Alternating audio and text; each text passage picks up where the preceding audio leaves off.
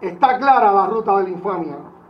A posteriori, todos los hechos se han presentado desordenadamente como si fueran fruto de nuestro legítimo llamado a los revolucionarios a defender la revolución.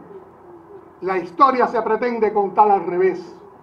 No importa lo que haya dicho, no cuentan los llamados a la unidad, la paz y la solidaridad entre todos. La interpretación malintencionada es que se convocó a una guerra civil.